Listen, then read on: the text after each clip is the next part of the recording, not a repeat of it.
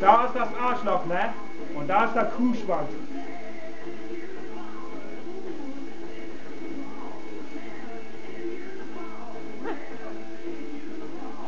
Oh,